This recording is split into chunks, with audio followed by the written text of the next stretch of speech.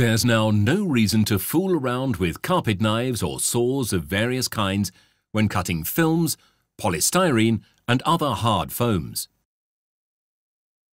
We've got a better solution.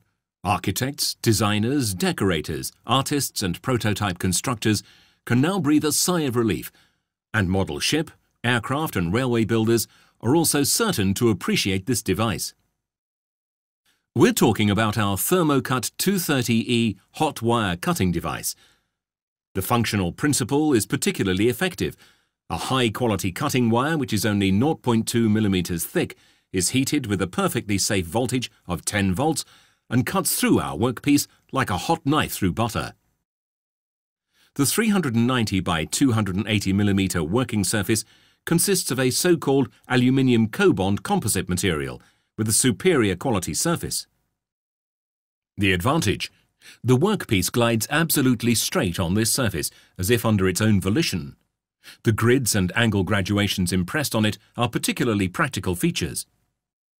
And speaking of angles, the saddle on the upper side of the solid aluminium bracket that tensions the cutting wire is adjustable, thus enabling mitre cuts. And the practical dual-function stop ensures that every wish is catered for. The wire temperature can be controlled within the range from 100 to 200 degrees Celsius, meaning you can rapidly find the temperature best suited to each material and thickness, and the workpiece can then be cut with the application of moderate pressure. And don't worry, the integrated isolation transformer and Class II protective insulation ensure that the Thermocut 230E is absolutely safe and the hot wire cuts with a completely safe voltage of 10 volts. In addition to this, an LED operating indicator indicates that the wire is hot and ready for use.